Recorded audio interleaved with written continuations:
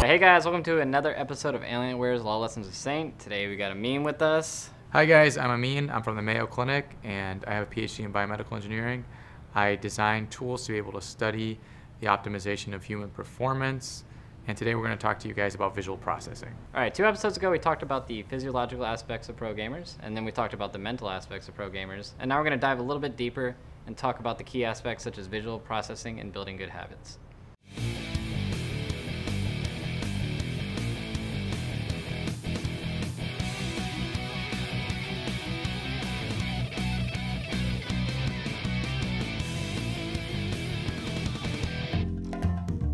What's interesting about esports is that we don't really know what the value is going to be associated with the physiology of what we do, right? We're kind of on the crest of it.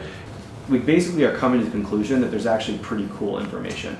To be honest, our objective is to get in there and to be as unobtrusive as possible. So this methodology would require little or no commitment from, from you guys. If it interferes with your performance, then we won't be using it. But the idea is to be able to take you in your natural state and to add this onto the layer of data that analysts go through. Like when you first start with an analyst, I'm not sure how much value you think they actually bring till they actually show you. So the hope is to kind of show you when we get to that point. Tell us a little bit about visual processing. Okay, visual processing is your ability to acquire information and to act upon that information in as concise a period of time as possible. Okay? It's really important because in a lot of other activities, it's also what sets apart the really great players from the average players. It's important in League of Legends for the same reasons. For example, a tennis player is able to deduce the movement of the ball from a serve, where it's going to go, without even actually seeing the, the ball hit the racket.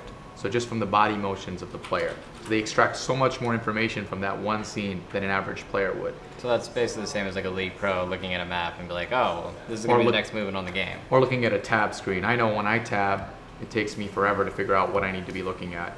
But I noticed that a lot of pro players tab and in one or two seconds they get the information that they want.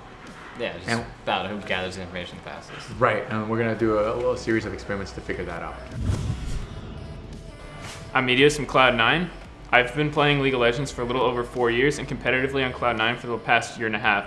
I recently just got back from the 2014 World Championship where my team placed top eight in the world. So now we're going to do the same test that we did on a few people the other day, where we're going to have you look at still shots and give me some information. We'll see what happens.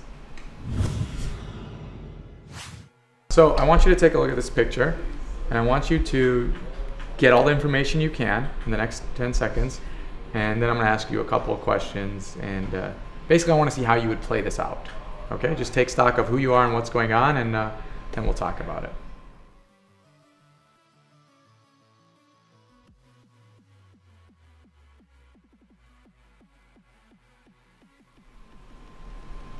All right. Okay. So, what are you gonna do? What's going on? What did you notice? I'm as the Tristana here. Yeah. Well, I think the first thing I noticed was Tristana's team comp is pretty horrible. They actually have a comp that's full physical damage. It was like Riven, Tryndamere, Vi, Tristana, and then Janna, which adds more physical damage. And they really have no magic, so that on top of the fact that they have champions like Riven and Tryndamere means that they're not going to scale well at all just because the other team can build armor so efficiently. So they're probably going to have to like snowball the game to win at that point. Okay. Just because when you can build armor and have it have like insane effectiveness, it's super hard to win. And then the other thing I noticed was the lane they were against is Vayne Thresh as Tristana Janna, and so they should win that lane passively. What they have to watch out for is getting ganked because the other team had a Pantheon jungle who basically has to gank early. His farming's not very good, and so he'll probably end up camping that lane. But Tristana Janna is very hard to kill, so they should be fine playing aggressively, baiting Pantheon to come down there, waste their time, and let their Vi farm up to six and go for a gank is sort of if this was a competitive game, how I think it should play out. But solo queue, like anything happens. Okay, wonderful, beautiful. Um, did you pay attention to summoner spells at all? Uh, I didn't see anything too unordinary. Okay. I mean, do you know how many teleports or ignites there are in oh. the game or exhaust? Did you notice that at all? I know. I wasn't looking at summoners. We're gonna. So all of these are gonna be a series from the same game. So now that you know the frame of the game, the next ones will just be a different situation. You'll capitalize on that. So why don't you go to the next picture? kind of the same thing. This is a, about uh, a little bit more into the game. I want you to take a look at everything, and then I want, I want you to tell me how the next 10, 15 seconds are going to play out, or how you would play them out. All right. Okay.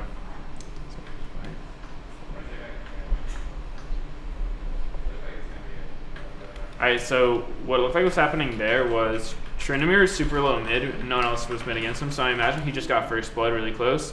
Uh, Riven was fighting Rumble in the Baron pit, and they were both really low too, so I imagine there's fight going on up there. I saw Vi was trying to level 2 invade Pantheon's red buff, and the bottom lane looked relatively even. So I imagine there's just a lot of fighting going on. What's probably going to happen is Pantheon will get into a fight with Vi at the red, and Vayne Thresh is a lot better at fighting the jungle than Janna Tristana is because they have like so much CC. So I think that's not a very good invade from Vi, but I guess we'll see what happens. It seems it's pretty even because they hit level two first, the, the Thresh and Vayne, they go in, the other ones hit level two shortly after. What actually happened is that Pantheon went for the top red. You can't tell that Oh, in that okay. picture, and that allowed Vi to invade the bottom red.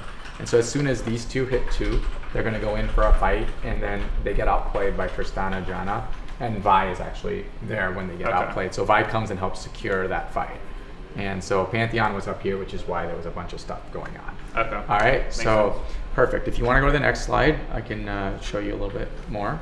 All right, and so um, what happens is that they, because if they won, they, get, they end up snowballing a little. And they start playing very aggressive. Okay, and uh, the purple team is slightly, and the upside is slightly flavored blue team in this one. So if you want to go one more, um, here's the next picture that I want you to take a look at. So um, a team fight breaks out near the Dragon Pit.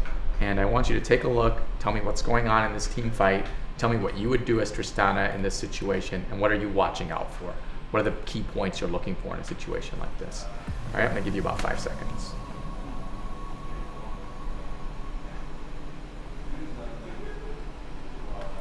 Alright, so I'd say the key things going on in that fight are it looked like Vi was ulting Pantheon because Vi did get 6 4 Pantheon uh, behind the red buff, so that's going to be their best focus target because Pantheon's easy to kill.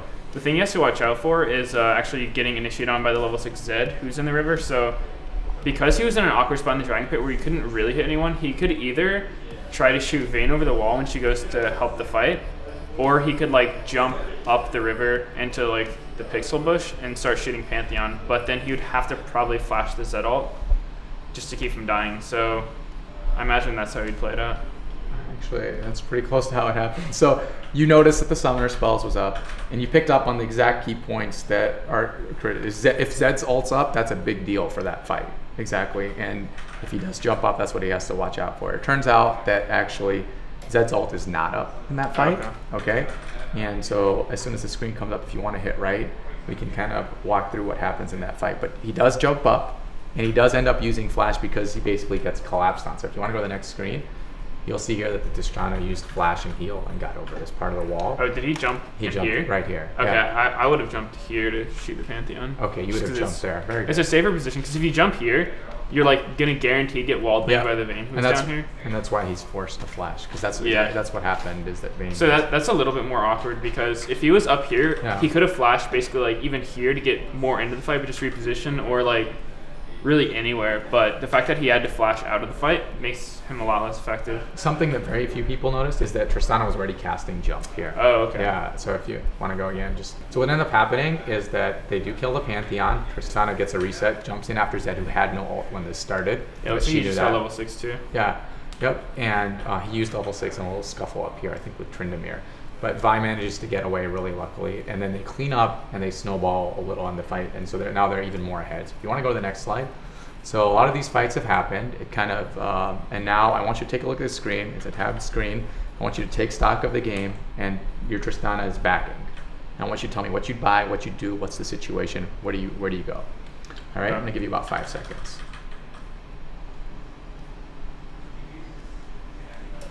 So as Tristana there, he had about a little over 800 gold. And at that point, I think I would buy an Avarice Blade just because Tristana's not effective at all until she gets two items. You could get a critical there to get closer to your IE, but it's relatively similar stats to the Avarice Blade. And but Avarice Blade gives you the extra income, obviously, which just gets you closer to those two items. So I would definitely go for that. And then it looked like they had already taken the bottom turret, so there's no real reason for them to go back bot. I imagine they would group up and maybe try to get the mid turret, but they do have like a really awkward comp for sieging with like triple melee on their team. So Tristana's really the only one who can. So their best bet might just be like taking vision control of bottom side and maybe even going back bot and just trying to snowball in the Vayne because Tristana with those items can like really bully Vayne. Mm-hmm. So just getting deep wards in the bottom jungle, pushing the Vayne in would probably be their best bet. Okay, that's great. What ends up happening is they do go mid. It's solo queue, so it's not that organized. Yeah. So they end up do going mid, just like you say, because that's obviously the best move.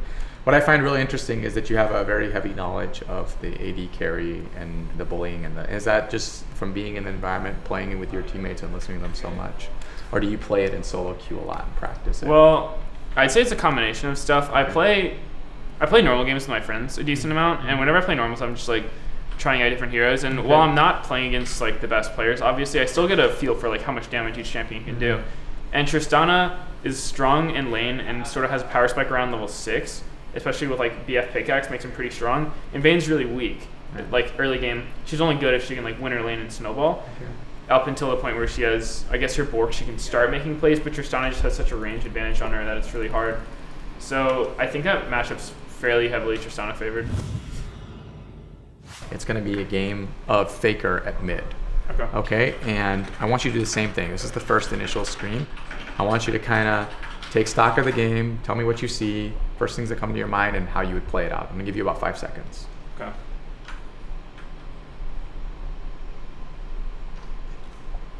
All right, so I was playing War Chicken Summoners this time. It seems both teams have a teleport, and Faker's matchup mid was Pantheon versus Fizz. Uh, Fizz started Cloth Armor, so it's going to be pretty hard for Pantheon to harass him down, but I think he still can.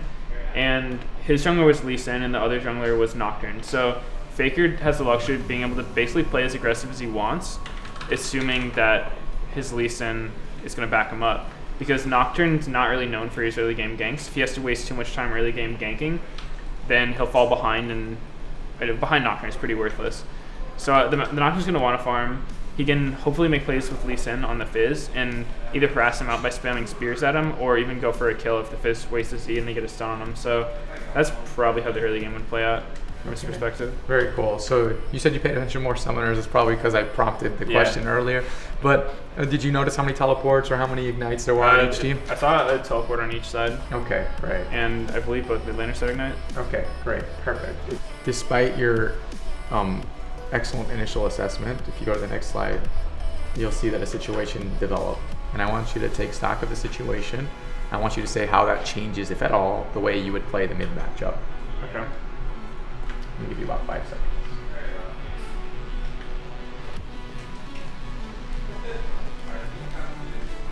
All right, so what looks like what happened there was Nocturne took red and level two ganked mid, and it kind of hurts Faker because level one is when he can really like you know spam spears on Fizz whenever he goes up for CS and sort of get his initial lead on him.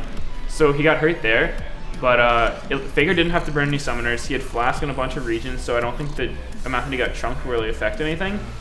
It'll also slow down Nocturne's jungle, which is good, and Faker should still be okay in that lane because the Lee Sin will be ahead of Nocturne. He can help him out if he needs it.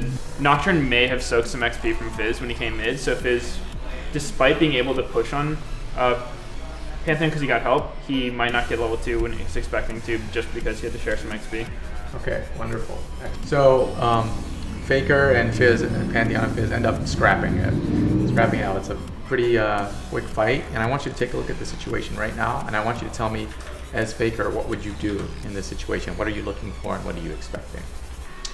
Alright, give you about three more seconds. Even though you already sound ready. well, if that in that situation, I think Faker would win the fight because Fizz had no mana. so you would go for the fight. Yeah, I would go for it just because he had his block up from his passive, meaning he blocked Fizz's auto attack. Fizz, I don't think he has enough mana to cast anything, and Faker has 30, like almost 40 mana, which is what his Q costs, and the Fizz is low enough to get crit. So I think an auto attack Q from Faker would kill Fizz, and I don't think he would die to Fizz right So there. did you notice if Flash was up or Ignite or anything like I, that? I think pretty sure Faker. Well, I thought he had both summoners, but I, I could have seen it wrong. I did notice that Faker died once in lane, okay, so yeah. he, he was disadvantaged. yeah, so he died to Fizz earlier he managed to kill him. But you're right, block was up. And um, so Faker has Flash up. And so if Fizz gets away, and you flash after him. In that situation, what would you do? Okay, so he had no ignite. Uh, if you can get the auto attack on Fizz, it's worth flashing on him.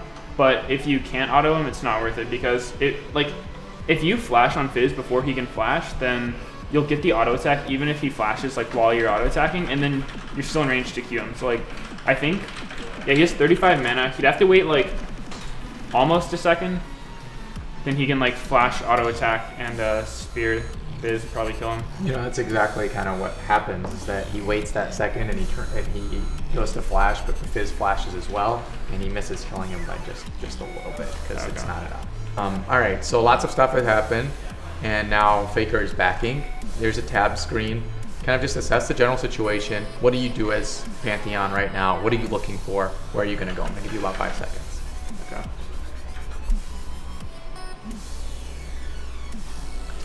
Okay, so what I noticed there is that he's three and one now. He's starting 0-1, which is good. He had about 1,400 gold with the brutalizer.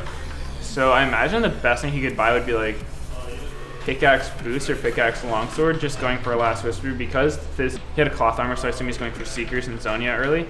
So last whisper will let you like keep fighting Fizz effectively, and his ult was up in 20 seconds. So depending on how the side lanes play, he could just buy and then immediately go gank one of the side lanes. Bot lane had a Zilean, I believe, and I think his team had a Thresh, so that should be a pretty easy kill. But I don't really know if someone show up for the side lanes, so I think it would depend on that. Okay, wonderful. So you would look for an ult at the bottom lane. is Bo- basic- bottom or top. Bottom or top. Faker's flash is coming up in like 10 seconds. Okay. believe. So in the next slide, a situation is going to develop, and um, uh, we'll see what happens. So this is the situation. This is what he noticed. He's back in mid lane, and he sees this. And I'm going to let you look at five seconds. I'm going to ask you what you would do.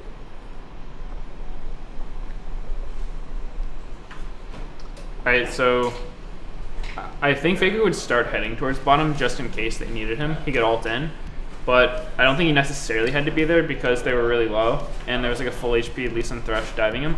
So I think just moving towards the bot lane, like sh- giving his presence and having the ability to help out if needed would probably be the correct play there. Okay. So you think the man drop is not necessary?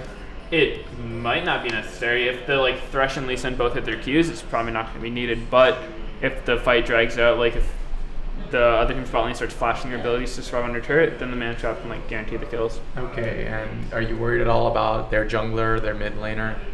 Did you see them on the map at all? Uh, I did not see them on the map, but I, I guess it is a threat of Nocturne coming in. But the fact that their bot lane was so low, and Pantheon's extremely good at tower diving, I wouldn't think about it a whole lot because he's pretty safe by blocking tower. It's traps. actually one of our freebie questions for the people who are doing this. It's, it's an easy yes, you go down there exactly, like you said, and and most people don't even consider all the things you consider, but that's their. They end up going down there, they get a 4-0 on the other guys because they come I guess one the, the thing he could have to watch out for because Fizz and um, Nocturne are missing.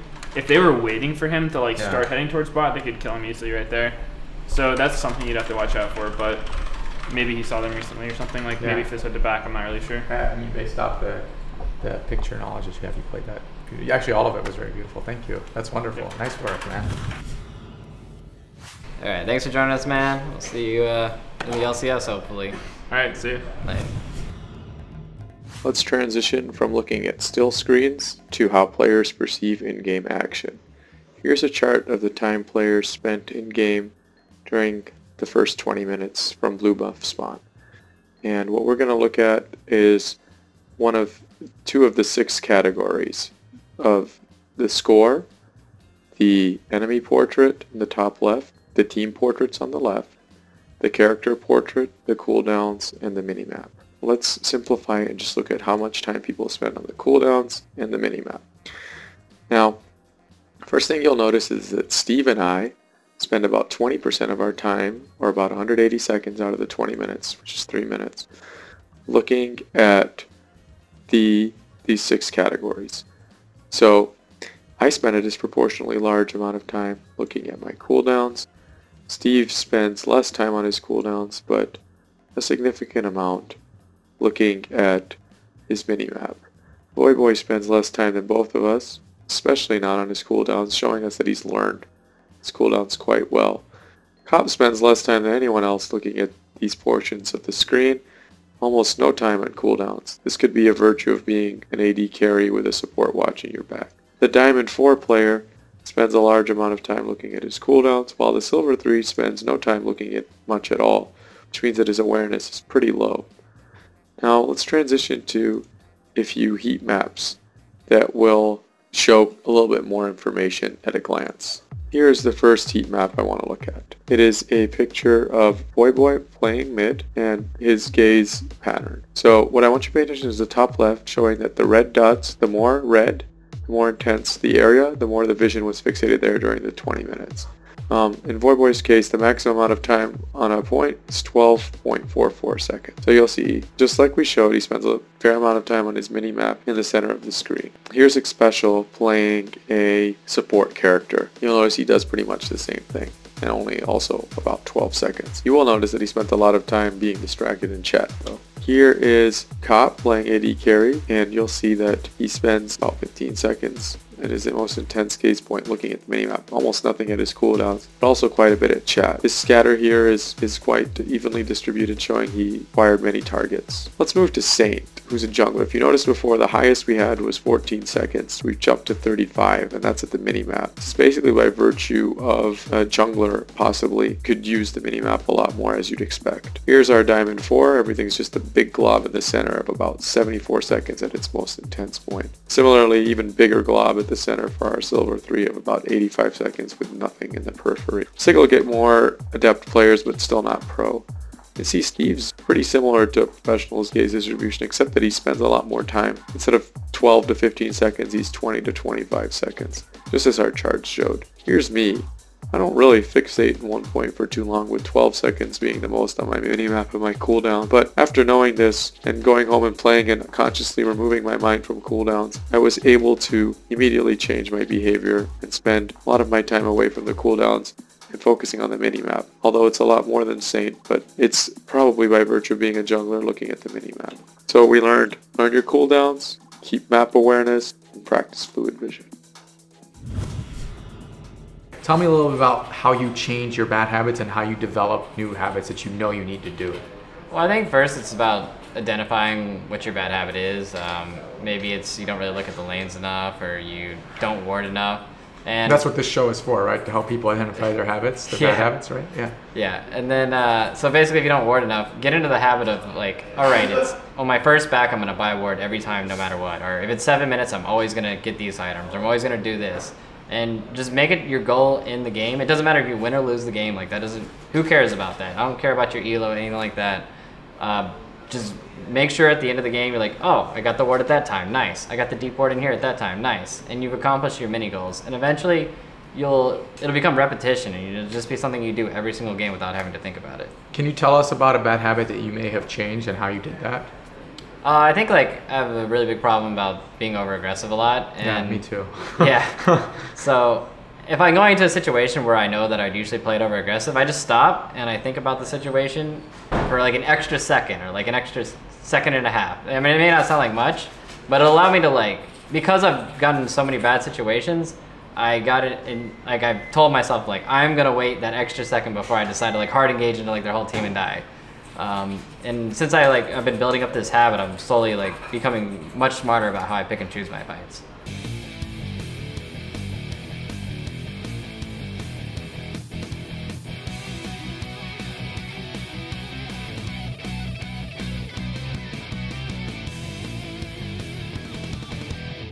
Who are you playing?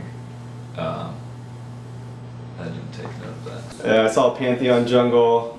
Um, I think that was on the the red team, maybe. So- oh my god, this one's hard. Okay.